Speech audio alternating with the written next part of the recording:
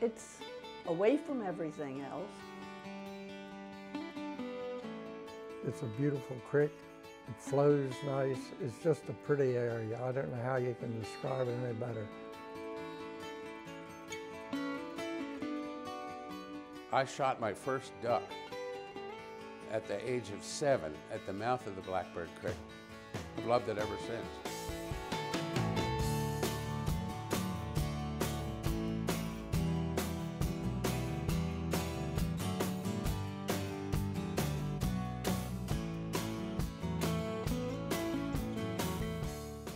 Endless salt marshes, historic farmlands, and deep forests.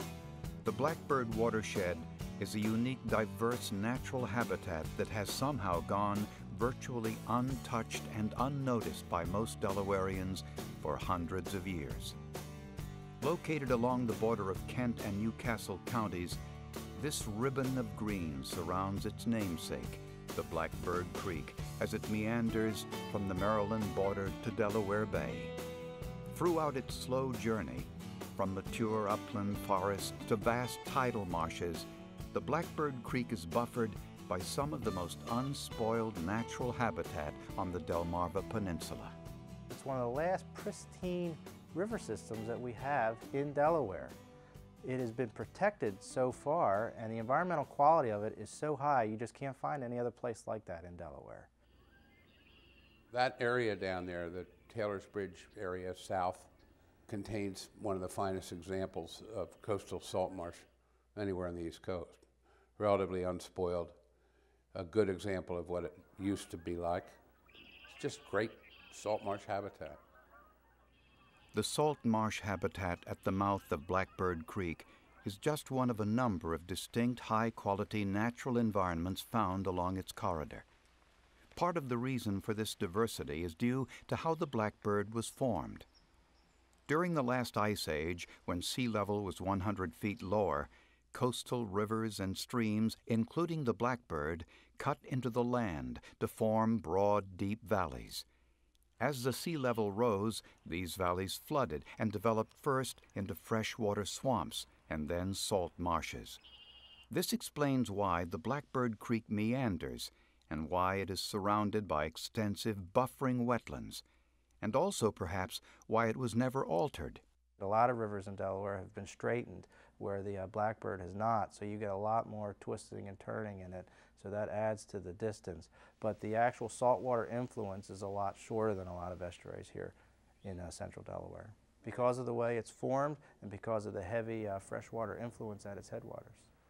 Those headwaters can be found in Blackbird State Forest, one of the few large forested areas left on the Delmarva Peninsula.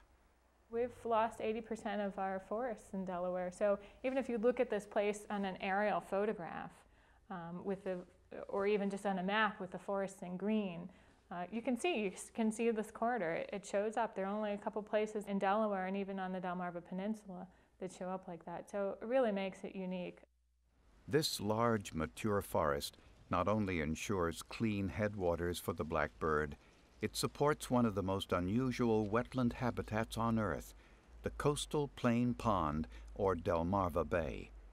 These forest ponds, filled only for part of the year, support frogs, salamanders, and other life forms found only on the Delmarva Peninsula, and only where there is habitat clean enough to support their unique survival needs.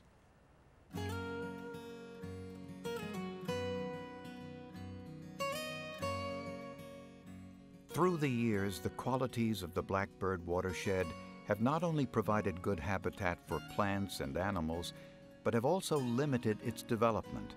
Remote from the bigger cities and often wet for much of the year, the blackbird attracted only a hardy few. It was traditionally either wilderness or uh, agricultural areas, or areas where people would go to get away from it all. You know, it was so rural that that's what drew folks to Blackbird. Farmers, loggers, trappers, and hunters, many of those drawn to the blackbird quickly realized its value and wisely respected the resources and habitat they depended on. Part of the reason why it still is the way it is is because of generations of good stewardship uh, mostly from farming families and woodsmen who have lived in this corridor over time. The blackbird's natural riches encouraged early settlers to stay. Families like the Dukes of Taylor's Bridge thrived, with successive generations acquiring more land, assuring the preservation of both the resource and their way of life. We can trace it back to 1730, the original land, but in 1730, my ancestors bought more land, so they were here and settled, we figure, around 1600. They had been involved with the Hudson Bay Fur Company. So when they came down and saw the Delaware marshes with all the muskrat houses, that was really a drawing card. There have been very few new neighbors come in. It's been the same families who have grown up there into their third, fourth generation of family that's still living on their property. Over the years and through many generations, the Dukes have cultivated and cherished their special relationship with the blackbird. We've always made our living from the land, and the marsh was just a part of the life. Uh, in the winter, we would uh, trap, and in summer, we'd go boating. We'd go down to the river shore where the blackbird comes out and goes swimming. We'd ride our bicycles as kids, and it was just part of our life, and it's part of the farm. Such local stewardship meant that much of the blackbird remained pristine well into the 20th century and unchallenged by development. The land's not available because those of us who are here aren't interested in selling any of it. As you saw with the, the battle with Shell, we, we hung in there tooth and nail trying to preserve what the heritage represented there. 45 years later, the battle with Shell stands as one of the defining events in the blackbird's history and the history of environmental protection in Delaware. Shell came in and started buying up land for the eventual purpose of building a refinery. And there were people down there who were for it, and there were people down there against it. And uh, one of the early people against it was a farmer named Jack Dukes, who still lives there. We had the representative who came and sat right here at the table with us and drank coffee and ate sticky buns and told us how he grew up eating muskrat and doing all these same things, but he was going to make life better for us. Others felt differently, and the Dukes, in their outspoken desire to protect the blackbird, became lightning rods for public opinion. Some of it got pretty rough down there. There was one thing where somebody put a diagonal spike in a field to catch Jack's combine when he went through uh, to damage his combine. Well, it could have killed him. Yet the Dukes and their supporters also attracted those interested in saving this little known watershed, including Delawareans for Orderly Development, the Delaware Wildlife Federation, and Delaware Wild Lands. Our role was to carefully pick out and buy key areas to checkerboard and try to keep Shell from getting one great big piece. All that was was a slowing tactic. It, we knew that that wouldn't be enough in its own uh, to, to prevent it. Despite enormous odds, the Dukes and others generated enough support to attract the attention of Delaware's governor and save the blackbird with the passage of the Coastal Zone Act. You can imagine how much power had to come from the people in order to make this happen. With all those powerful interests, our state chamber of commerce, nearly every law firm in Delaware being hired and assigned to work on this project, and the labor unions, with the exception of UAW, all fighting to uh, make it happen. And the people were able to convince people in government uh, that they had to pass this act in order to save the place.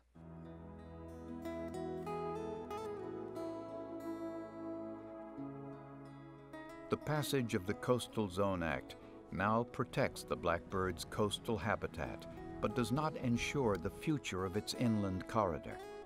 Fortunately, as more Delawareans discovered the blackbird, there are signs that the values that have historically protected it are alive and well.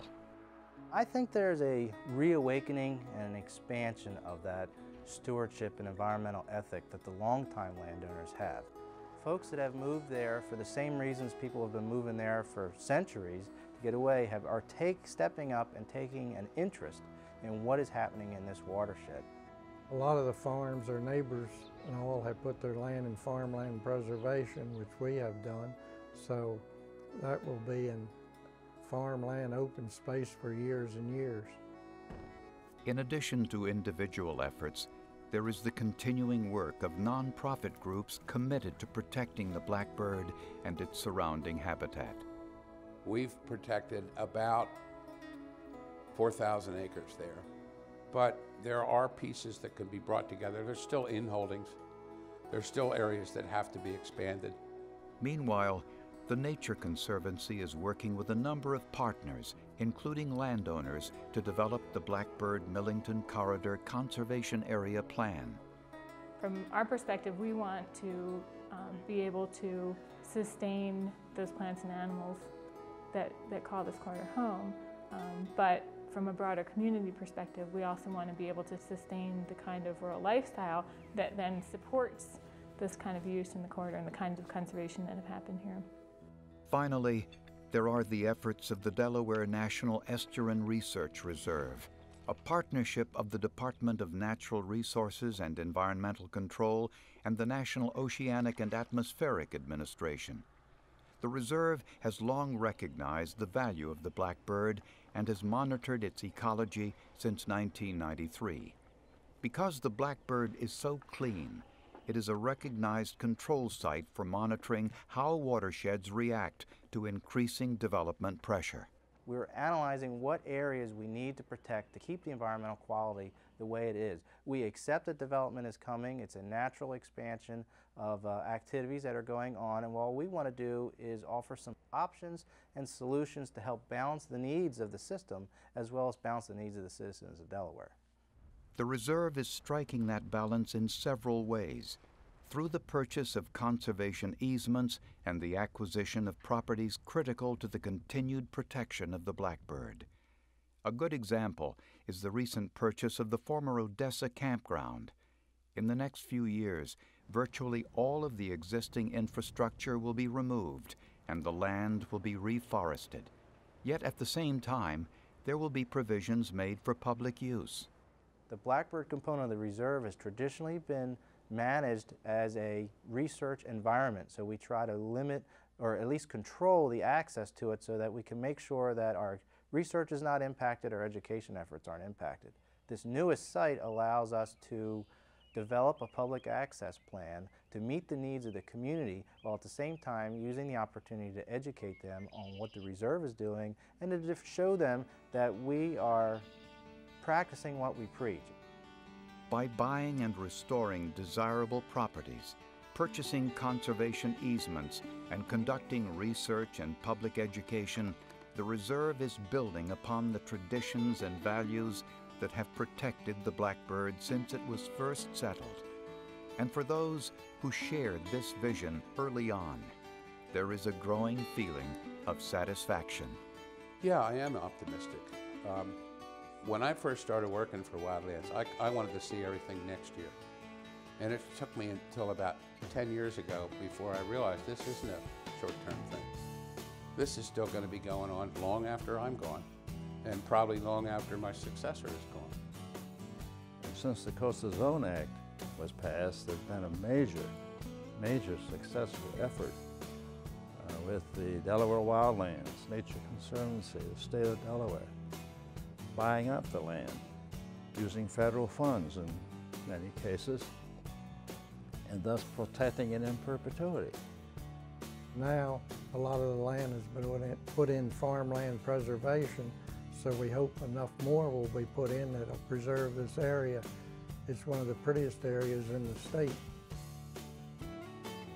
Well, just hope that the generations coming after us will be as proud of it as we are and, and do their very best to take care of it and not pollute it and hopefully keep it as, as pure as possible for ever